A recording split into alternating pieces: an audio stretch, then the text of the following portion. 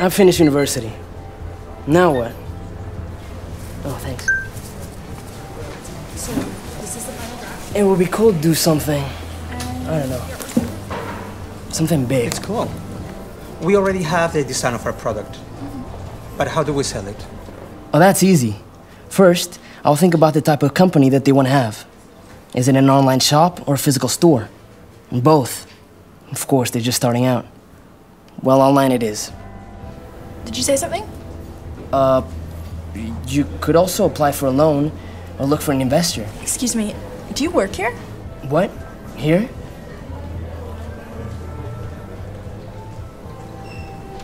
It might surprise you to learn that Santander is the place for you. With your talent, you can improve the day to day lives of over 140 million people around the world.